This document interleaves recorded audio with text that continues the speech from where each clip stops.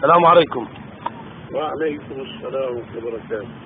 سيدنا هل يجوز إخراج الزكاة للوالد من الولد؟ إذا كان الوالد فقيرا وهل يجوز من الولد إلى الوالد؟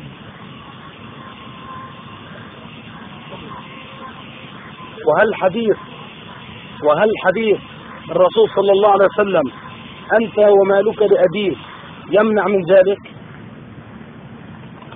بجاوبك نعم شيخي إذا كان كل من الوالد والولد عايشين لوحدهم ولا أحد بينفق على الثاني لقصور في مورد لكل منهما ثم عرض لأحدهما مال وأراد أن يخرج الزكاة.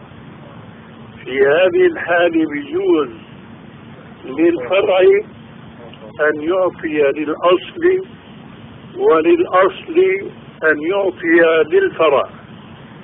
لكن هنا يرد شيء إذا تصورنا غير الصورة أنا تصورت صورة الوالد والولد فقراء ثم عرض لأحدهما الثراء والغنى.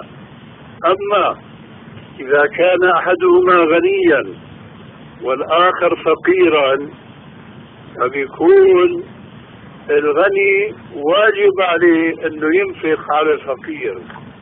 في هذه الحالة لا يجوز له أن يعطيه الزكاة لأنه زكاة ونفقة ما بيجتمعوا فبدل ما يعطي زكاة يعطي نفقة.